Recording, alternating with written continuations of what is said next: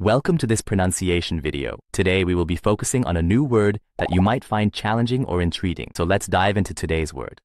Vorbereitungen, which means, Actions or arrangements done to make something ready. Preparations. let's say it all together. Vorbereitungen. Vorbereitungen. Vorbereitungen. One more time. Vorbereitungen. Vorbereitungen. Vorbereitungen. Thank you for joining us on this adventure in pronunciation. Remember, language is a journey, not a destination. Keep exploring, experimenting, and expanding your linguistic horizons. We'll see you next time.